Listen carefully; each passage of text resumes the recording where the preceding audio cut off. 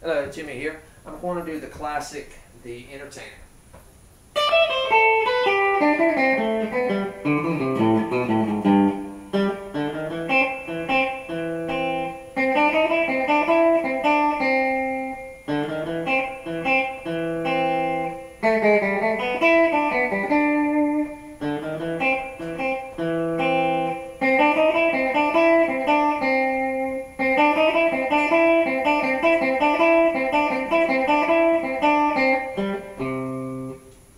Thanks for listening.